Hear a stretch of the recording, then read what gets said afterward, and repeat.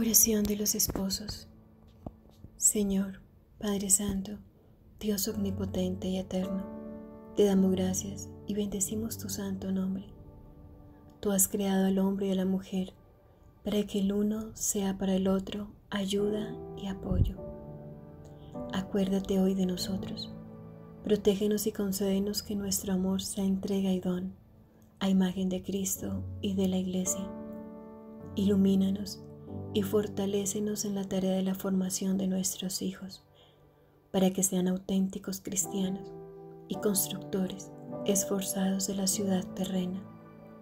Haz que vivamos juntos largo tiempo, en alegría y paz, para que nuestros corazones puedan elevar siempre hacia ti, por medio de tu Hijo en el Espíritu Santo, la alabanza y la acción de gracias. Amén.